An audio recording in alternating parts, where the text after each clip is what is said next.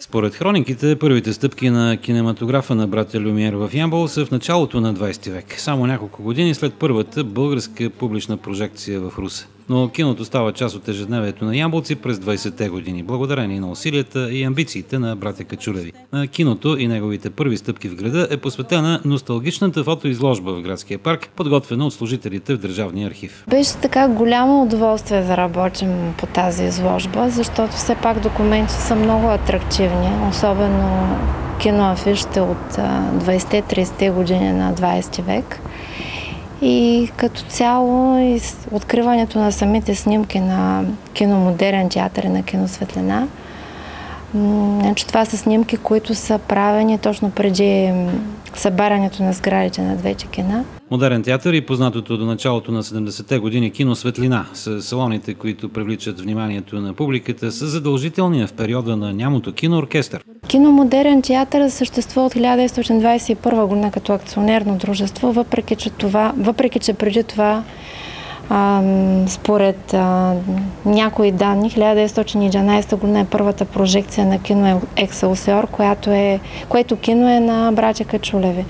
До 1921 след регистрацията на акционерно дружество Модерен театър започват и кинопрожекциите.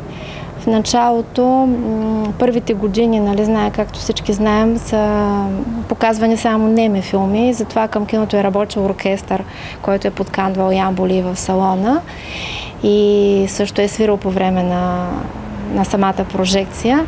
По-късно с навлизането на говорящото кино се налагат някакви реорганизации. Оказва се, че найемите за говорящи филми са много високи и братя Качулеви непрекъснато пишат писма че наймите са непосилни, че Ямбо е земеделски град, че когато има летни горещини и силни валежи, хората се стоят по домовете, не ходят на кино.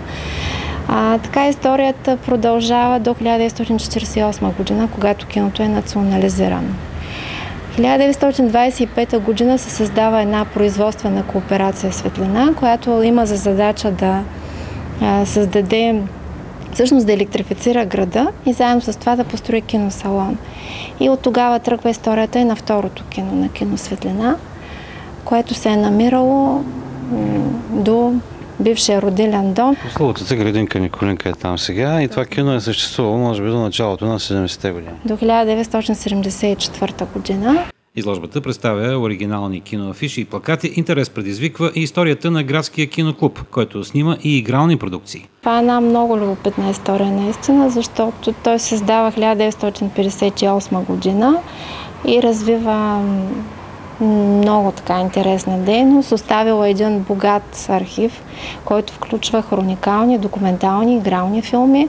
Освен тези филми има архив на дикторските текстове към филмите, на фонозаписите, много богат фотоархив от работни моменти на филми. На самата изложба могат да се видят такива работни моменти от различни филми.